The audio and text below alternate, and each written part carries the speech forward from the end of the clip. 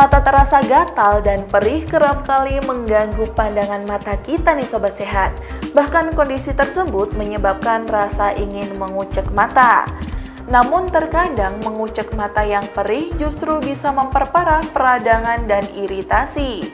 Untuk mengatasinya, sebaiknya perlu mengetahui akar penyebabnya. Kebiasaan mengucek mata biasanya dilakukan hingga indera penglihatan sudah tidak terasa gatal lagi. Adapun beberapa penyebab mata terasa gatal yang kerap terjadi seperti masuknya benda asing ke mata, infeksi bakteri, mata terasa kering, dan terkena dembu serta adanya penyakit mata.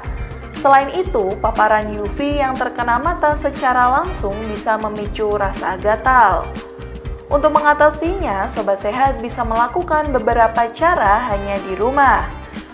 Mulai dari membersihkan kelopak mata dengan kain pembersih berbahan lembut hingga menggunakan air hangat. Bila mata terasa perih, bisa menggunakan obat tetes mata dan mengompres dengan air hangat. Mengkonsumsi air putih yang cukup juga bisa melembabkan bagian mata yang kering. Terima kasih sudah nonton. Jangan lupa like, subscribe, dan share ya.